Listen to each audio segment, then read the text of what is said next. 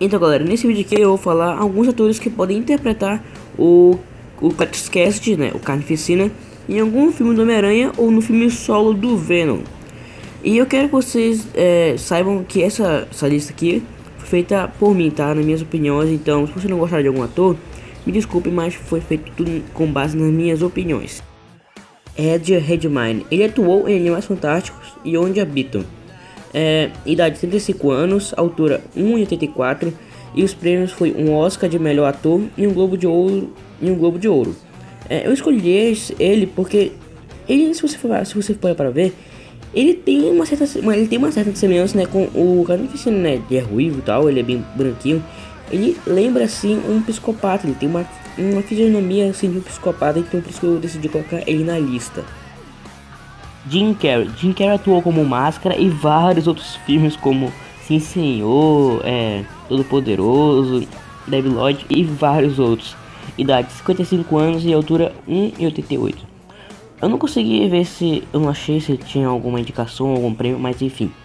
É, eu escolhi ele porque ele já conseguiu o Jim Carrey, apesar dele ter feito muitos papéis de comédia e tal assim, ele já interpretou sim como um personagem lunático e psicopata em alguns filmes, cara. Por isso, que, por isso que eu decidi colocar ele na lista. Porque ele. Acho que ele ficaria bem como carnificina também.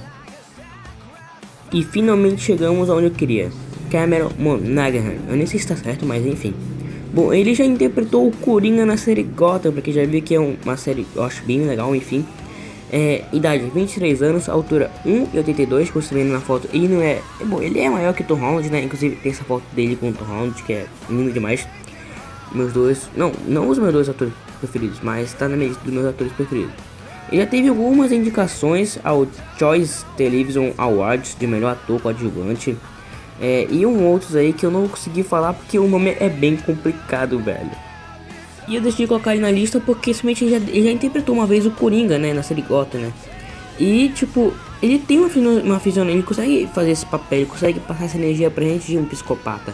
Ele é branquinho, vivinho e tal, ele tem um sorriso bem legal assim, um sorriso bem psicótico, né? Aquela risada dele fantástica que tem em Gotham. E várias outras características que esse, que esse ator consegue passar pra gente quando tá interpretando algum personagem, assim como o Coringa, né? Então esse é o vídeo, né? Se você não viu, se você não viu o vídeo anterior que eu falei dos trajes alternativos, né, de Homem-Aranha vai lá ver que o vídeo está muito legal. É, se você no canal gostou, se inscreva, que isso vai ajudar muito. Mostre o canal para algum amigo seu que você acha que vai gostar.